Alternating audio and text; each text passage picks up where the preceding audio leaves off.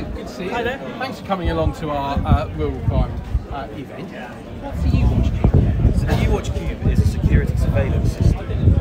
Uh, it is able to send real-time alerts within 40 seconds from the cube when it's triggered directly to the app on your phone, the UWatch app. So it's got a PIR sensor built into it, so it can detect movement. Yep. It's got a shock sensor, so if the cube is moved, um, it can trigger an alert and send it directly to your phone. And it can also connect to these items called smart tags, which can be put on various different items. When these are triggered, they can connect to the cube and tell you where they are. Okay, so what you put that on like um, Yeah, a quad bike, that would do it, or you can monitor your property, you can put it on various different gates, and you've got different entrances, uh, all different plants or machinery.